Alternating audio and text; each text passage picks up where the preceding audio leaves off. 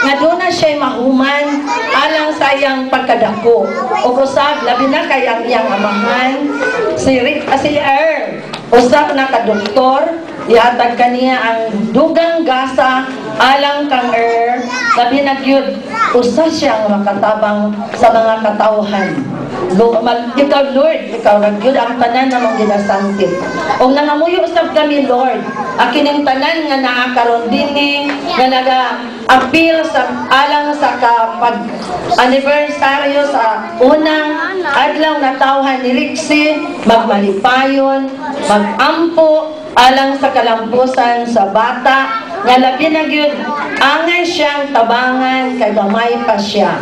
O nangamuyo usab kami. Nga kining adlaw usab. Double nga giandam alang sa pag blow up nga kasi Earl naka, nahimo na yung doktor. Tinuod nga doktor. Nga kining tanan imo man yung pagbuot Ginoo. Wala kami mahimo kung wala ka Lord. Panalangini ang banay, ang pamilya, labi na gyud.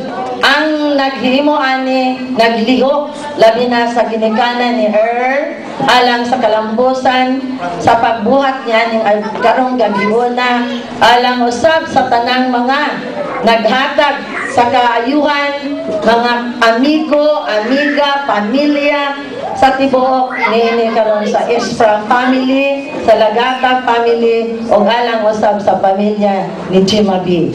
Kining tanan, among gipangamuyo, pinagi si mga anak nga si Ginoong Kristo. Amen.